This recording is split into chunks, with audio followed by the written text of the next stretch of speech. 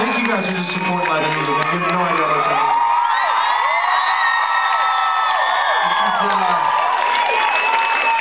This song's about three years old, and I wrote it, uh, I wrote it around Christmas '06 06, I think, in Tulsa, and, uh, somehow it's kind of the song that wouldn't die, I guess. The song is called The Daily Anthem.